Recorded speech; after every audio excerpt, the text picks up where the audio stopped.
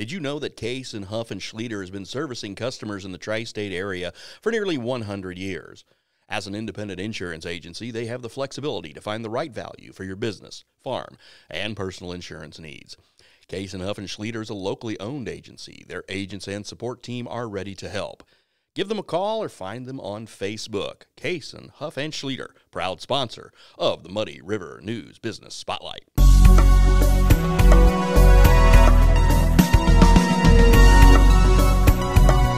Welcome to the Muddy River News Business Spotlight, brought to you by Case Nuff and Schlieder Insurance. I'm Bob Goff, and my guest today is Rich Niemann Jr., and we're going to talk about a Quincy institution in Niemann Foods. Welcome. Well, thank you. Just it's great to be here. It's it's great to have you. And uh, you know, the first thing I accosted you as soon as you came in because I did I, I wanted a, hay, a haymakers close to my house. I think those are some are some great convenience stores, nice, clean, and I think I think you guys when you rebranded from County Market Express to that, I just think that was a really good move. Well, our, our team uh, designing that and building that concept uh, just did a wonderful job. I couldn't be more proud of them. You know, we're we are uh, just happy to be able to provide an environment. We always uh, test uh, that concept against. We want uh, moms with kids to feel comfortable um, going into the bathrooms, and you know restrooms are so important in those stores, yeah. and that's not the whole thing, but that's so critically important. And that particular concept, the first one was here in Quincy, and, and that has evolved. We've done a number of those since, uh, I, I, believe we're at uh, eight or nine of those now. And uh, we have uh, an outside cooking experience that we do with the newer stores and some different things that we've added. But we feel that it's a, a lot more about food uh, than it is about uh, um, anything else. So we've got to provide an environment where people are comfortable um, eating our food there, and we, we cook out, as, as most folks know, on usually Tuesdays and Fridays, and sometimes we're doing shish kebabs and we do salmon on the grill and all kinds of things that you normally wouldn't expect. So we're very happy with that concept, and we're and we are growing that concept. Your West Quincy store also has the best livers and gizzards around. Oh, and I love those too. they good. Yeah, I love those. I, you can't. I, you just can't eat them that off. That's my thing. Yeah, I have to like make sure. Okay, this I, this yeah. one time I have them for the month or whatever. I yeah. Can, but no, they're so good. Yeah, it's so. a treat. It's a treat once in a while. You don't want to do it every day. That, that's very true. So, but uh, so so like you said, the first one was here. So haymakers, you've got how many across the Midwest now? Nine of those stores. Okay. Yeah, and, and we are expanding those, uh, not maybe as rapidly as some other concepts we're doing. We've got a lot of different things going on, actually. It's pretty exciting what's happening here. And I think um, uh, most people uh, um, locally here may not understand kind of how we are and who we are and what we do. But we're uh, with all different types of concepts. We operate, uh, gosh, 107 stores now, different concepts in five states, and uh, uh in 2024 we will be in six states. We have some plans wow. for, for, that. So uh, a lot of things going on, and, and I'm just so proud of our team. Uh, I don't know if you know or not, but we are an ESOP company. We're an employee stock ownership plan company, and this all started about 25 years or so ago, uh, our family was two thirds of the business, and my uncle was a third. And we bought them out of that. Uh, we bought those folks out of the business, and we took that one third value of the company and we put that into ESOP stock. And then we've been gifting that to our associates ever since. And we have roughly 6,000 associates and probably 2,500 owners now. Oh. And uh, the way that our folks get stock, you can't buy it but we, we gift it to them. And so every year, uh, the board decides what percentage of everyone's, uh, whatever your compensation was for the year, what percentage is going to be gifted. And then we do about half in cash and half in stock. And that's how our folks get ownership. And that has been the best thing that we've ever done because as we're so spread out, um, and, and, there's always uh, ownership in every store that we operate every, every, every day part. So that's what makes it work for us. I'm very proud of our team. Well, and that has to give your, your your employees a sense of pride as being a part of as well. Absolutely, absolutely. It's very important for everybody's retirement. You know what happens with their stock, and and uh, so yeah, very important. Uh, we, again, we talked about uh, we, we talk, we're talking about haymakers. We're going to get on to the other the other stores and the other brands, but uh, uh it, one thing that you mentioned was the the convenience store game and the difference when you're you know you guys are, are Quincy based. You have stores here, you have stores on the Missouri side, but but but the gas tax difference it's it's a real thing, right? It, there's It an impact. It is. There's no question about it. Uh, it and we, as soon as the the new uh, part of the of the Illinois gas tax, when when the increase was taken, we and everybody else that that sells fuel in the Quincy market saw the traffic go to Missouri. So there's no question if you're operating in a in a location that's close to a border, and and uh, whether it's Indiana or Wisconsin or Missouri, there's going to be a flight of dollars uh, and traffic, you know, and gallons to the to the other side where it's and it's considerably cheaper. The Illinois tax is, is pretty is pretty high. Yeah, it's uh, it is it's noticeable. That's for sure. So, um, let's again talk about some of the other brands. Uh, do you are you, you still uh, still have Cub Foods? No, there's there are No, no, more Cub no Foods. more Cub stores. So what have they been converted into? County markets? Well, just yeah, either county markets and, and we've done some some different things. Um, Harvest Market is a That's what I want to talk is about. is a very interesting brand that um, we started developing almost nine years ago. And the interesting part about that is, uh, without Niemann Ranch beef and what we do with cattle in Missouri, Harvest Market as a concept never would have happened because my two older boys and I we started raising cattle about 20 years ago in Missouri and and uh, so we became a, a cattle producer so as a producer we understand what it is and the harvest market concept is about connecting people back to the land uh, that's our mission in those stores. And uh, it's a very uh, interesting connection that we have to our customers. I've never seen anything like it in, in all in all my years and all in all the different things we've done in retail. But so we connect people back to the land. And one of the easiest ways uh, to uh, uh, to explain the whole concept that I find is I talk about churning butter because we churn butter in those. We only have two of these harvest markets open so far, with two more that are on the on the boards right now. But so when we churn butter, we have to have a little dairy plant inside each of these stores, and that's that's kind of complicated because you have to meet all the regs and rules that any dairy plant would. But we are the only people that I know of in the in United States that churn butter inside a store. But when I talk about churning butter, the most important thing is the Kilgus Family Farm sweet cream that comes into the butter churning process. And then we then we churn butter, and then we have a byproduct that's buttermilk. Buttermilk goes into our biscuits in the bakery. Those biscuits end up in the farmhouse restaurant. So there's there's this constant circular motion of these products in this store, and that gives you the concept of what this is all about. It's a lot about local, but it's not strictly local because we have relationships that we've developed over the years with, we call them producers and makers. Producers are people that grow things like we grow cattle. Actually, we grow grass, which is gives us our cattle. But uh, so, uh, and then makers are people that change value. So we might have a particular uh, a, maker that comes to mind is one of our. Uh, they, they produce pickles. It's, it's a really good pickle. Well, they don't grow the cucumbers, but they change the value and, and make pickles out of them. And then the producers are people. Well, this this one's growing eggs, and this one's uh, growing wheat, and this one's growing grain that turns into alcohol. So there's all kinds of producers, and we we uh, uh, build a relationship with these people, and a lot of them are not in the traditional supermarket chain of, of events, so we have to develop all kinds of ways to help them and get their products into our stores. So it's a very complicated deal. But what happens is people come in to Harvest Market, they, they want to be entertained, they want information, they want to spend time because 150 years ago, uh, 90% or so of the people in the U.S. were involved in agriculture. Today, it's 3 or 4%. So people want to know. They want to know about what's in their food, what's not in their food. And so this whole concept is, uh, is, is that. We connect people back to the land. It's kind of interesting. The closest one to folks here in Quincy would be in Springfield. Yes. We're out on Veterans uh, in Springfield.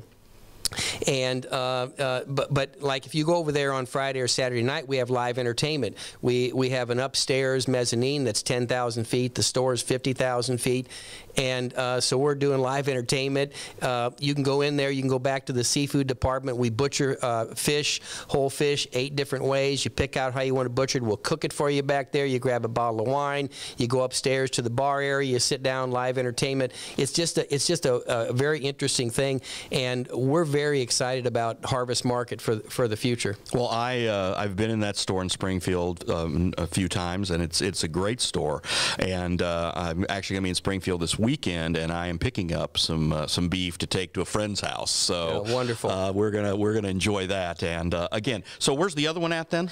Uh, the other one is in Champaign. That's right. Okay. And then the next two are, are planned for a little bit larger metro areas and not in Illinois. These happen to be. Well, when you put one in Quincy, you're going to break that news on Muddy River News. Just let us know when that's gonna I happen. I promise. Uh, if we do it here, we will break it here first. All right. Um, the one other brand I, I wanted to talk about is uh, is something else you you you guys ventured into, and that was the the Ace Hardwares. Now, it seems to me that those have gone in. You know, they're, side by side with a lot of county markets in some places. Mm-hmm. Some places they're not. But it really seems that's how you're. It, you get back to the neighborhood hardware store concept, and I like the stores because I can get in. I don't get lost. I get in, I get out. Your guys there and gals there are knowledgeable. I just, I mean, I will exclusively go there unless it's some monster thing that I have to get somewhere else. But how did you guys get decide to get into the hardware game? Well, we did that uh, a number of years ago. Um, I went out looking at different concepts around, and uh, we were looking for. Uh, to have additional things because we, we have teams in a lot of places and we have uh, locations and or real estate and so what else can we do? And in some kind and sometimes in a in a in a rural area you might need something to kind of add to the mix over time so we wanted other concepts. And so we we uh, settled on Pet Supplies Plus which we also do and Ace Hardware. And the Ace company that's a co-op um, a very very uh, good company, well run, great private label. Uh, the variety is tremendous, but it still comes down to your team in the store. And what we've found is there's a lot of people uh, that love to work in hardware because maybe they've been an electrician, they're retired, but the whole deal with Ace Hardware is to solve a problem. You walk in there and you go, you know what, my toilet's broken. I don't know what it is. What do I do? Yep. And and so our folks um, love to help solve those problems, and uh, it, it's just a it's a really fun, interesting business. And uh, we're up to 17 stores now. We have three more that will open this year. Uh, we've done a lot of a lot of hardware work in Wisconsin. Uh, that, that's been kind of a, a focus area lately. But we love that business, and uh, it's just been uh, been a lot of fun. But and, and there's so much variety there, and Ace Hardware also has a really good um, uh, uh, way to order online, pick it up at the store, have it delivered to your house. There's there's a good model there. It's just it's just a really strong concept. I uh, when I need a new lawnmower, that's where I got my mower. I got a Craftsman mower, and it's self-propelled, and it's great. And the guys put it. I said I don't want to put it together, and I want you to bring it to me. Done. Yeah. And it's again the service was just was just fantastic. Why? What? what uh, again? Without sharing state secrets, why did you pick that location at 17th and Broadway? I think it's great because if I have to get something I know I need for the weekend, and my wife says, "Hey, we're going to do this honeydew project this weekend," I can swing by there on my way home. So I like I love the location, but but but tell me how you settled on on getting because you didn't own that property previously, did you? No, no, Okay. we did not. But we wanted to be uh, in the rooftops more than out on the on the perimeter. The big box hardware is, is all Right. is is fairly inconvenient. So we wanted to be kind of in the in the middle of it there. And we do a, a pretty good contractor business uh, in Ace as well. So it's pretty convenient because uh, you know if, if if you're doing it uh, if you if it's personal, um, you want to you want to uh, you want your time to be well spent. But if you're a contractor, time is money. And so if we can be more convenient, and yet we have uh, a variety. You know, if you go in there and look for a, a nut or a bolt or something or a screw, something small like that, you can pretty well find it. So uh, we feel good about about the variety. Hardware, just like groceries, has been somewhat difficult for the past year and a half with supply chain is- issues and all that. But we've done pretty well with hardware, with staying in stock. If it's not this brand, generally it's available. We, we can we can have it in something else. But those those problems go continue today. Grocery, pet, hardware. all of it. Packaging is very difficult today. There's a lot of packaging issues because of the resin or whatever it might be. I know you've you've heard all about this, but we're still struggling with that. But I'm very proud of what our team has done, whatever concept it is in, our, our people have worked uh, very hard because the last year and a half it's been about product and people. And, you know, with sickness or uh, uh, people being restricted, not being able to work, just keeping staffs in the stores, in the departments, and keeping product on the shelves, that's been, been hard. What, what did your company learn um, after having to deal with this last year and a half? Gosh uh, just just how much uh, we appreciate our team being able to get done what we have gotten done. I mean, we've had to do all kinds of different things. We've had to source things in different areas that uh, when everything's working and everything's normal. Um, and then when it isn't is when you find out what you're made of and, and I found out that our that our team is uh, is pretty darn special. And uh, I guess the one other uh, entity that uh, under the Niemann's umbrella would be the, uh, like you, you briefly mentioned, the pet supply stores. Mm-hmm. Um, is that a brand that's also growing and you're seeing to look in more places? It is, yes. We opened, a, uh, just recently, we opened a store in Chatham, Illinois, and we've got another one in Wisconsin uh, this year, so we'll have another, and I believe that'll put us at 10 of those stores. We love that business. Again, it's, it's so much about the team in the store, the people that are there uh, the folks that we have in our pet stores, they love pets. They want to talk about pets, and generally they have a lot of unusual pets at home, and they they just want to be around that. And when you can come in and and talk about nutrition uh, for your cat or your dog, or sometimes uh, there's a lot of unusual pets too. And during the pandemic, um, people were really interested in pet projects, so they'd come in and they'd buy a, a bird or a or a snake. We don't sell cats and dogs. We help with adoption on sure. cats and dogs, but we do the, some of the smaller pets, the fish. We sell those in those stores, and a lot of people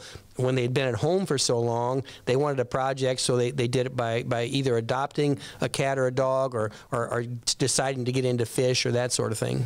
As you look to expand your new Harvest Market brand and, of course, County Market and Ace and Pet Supplies Plus, what is the key factor when you look at, okay, we're going to either add another store in this market or we're going to go to this new market? What are the factors that go into that? Well, we, we, you always look for need because if there's need, you can do it and be successful at it. If there's not, it's like pushing a rope. So uh, we look for need, and that's why when we have so many different things that we do, and, I, am proud that our team is able to manage that.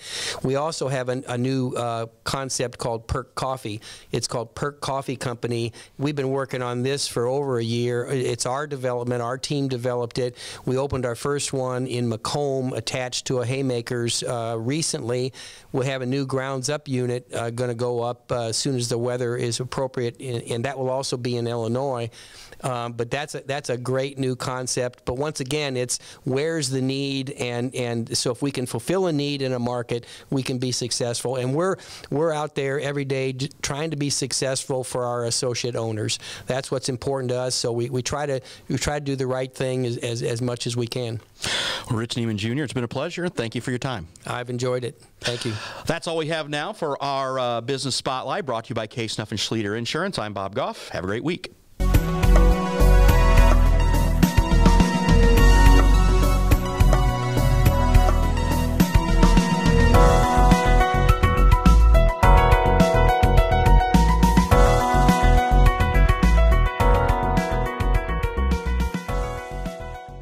Representing nearly 20 A-rated insurance providers, Case and Huff and Schlueter caters to most any type of insurance. Business, farm, home, auto, and health for nearly 100 years. Their team of experienced professionals is second to none in providing coverage for your insurance needs. Case and Huff and Schlueter will find the most cost-effective solution to your business challenges, and with their experienced agents, they know how to navigate the insurance markets. 100 years, an agency built on service, no matter what side of the river you call home. Give them a call today or find them on Facebook. Case and Huff and Schlueter, peace of mind since 1923.